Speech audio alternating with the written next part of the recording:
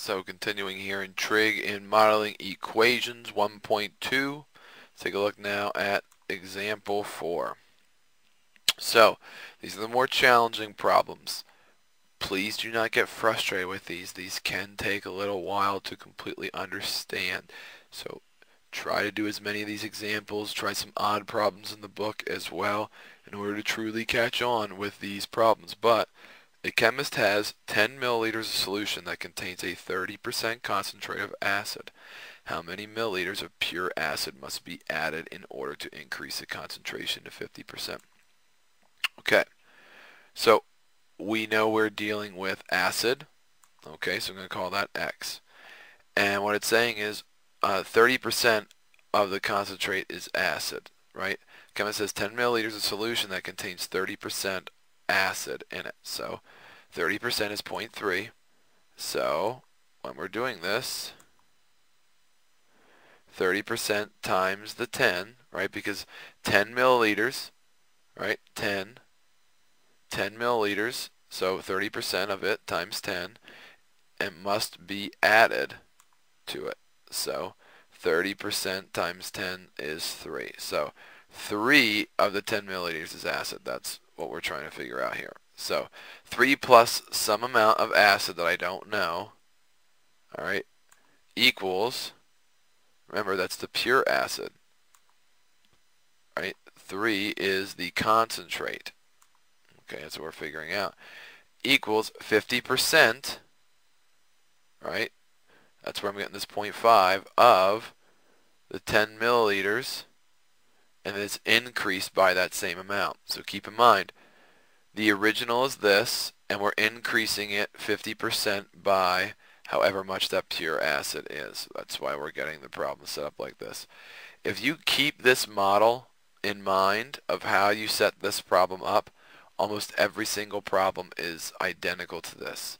Just it literally the numbers are changed. Instead of 10, it might be 15 milliliters of solution at 45% that increase to 60%. Remember how the order is being plugged into this problem and you should be fine. Okay, so um, when we're doing this, that's the original amount. Okay, so the original is 10 plus however much the original amount is. So when we FOIL this, I end up with 0.5 times 10 is 5, 0.5 times x is 0.5x. So when I'm doing this, I combine my like terms. I, like I said, I like to have positive x's, so negative 0.5x to both sides. Um, they cross out, so I have 3 plus 0.5x because 1 whole minus a half is a half equals 5. The uh, minus 3 on both sides, so I get 0.5x equals 2. Divide by 0.5, and I find out that x equals 4 as my answer. No, you got the wrong number. Alright, so a radiator contain, contains 8 quarts of a mixture of water and antifreeze. If 40% of the mixture is antifreeze, how much of the mixture should be drained and replaced by pure antifreeze so that the resulting mixture will contain 60% antifreeze? Just like the last problem, okay, except we're talking about something else, right? So 60%, right, is 0.6 looking for the resolving mixture to contain 60% antifreeze. There's 8 quarts. So 0.6 times 8 is 4.8, right? So 4.8 of 8 quarts of the mixture is antifreeze at the end. That's what we know. So what we have is point, uh, 4.8, which is what you want, equals 8 quarts minus, alright, because remember we're talking about being drained and replaced. So if it's drained, that's why it's subtraction. So that's why I know that this is 8 of it minus what we're taking out. And that's the total after what you're taking out. And that 40% of the mixture is antifreeze. So same setup as the last problem.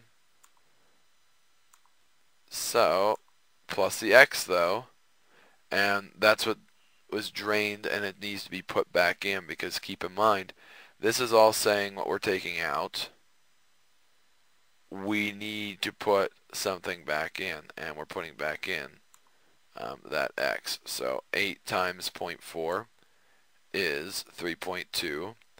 Um, negative 1 x times 0.4 is negative 0.4x with the positive x there. Combine my like terms on this side, negative 0.4 plus 1 is positive 0.6.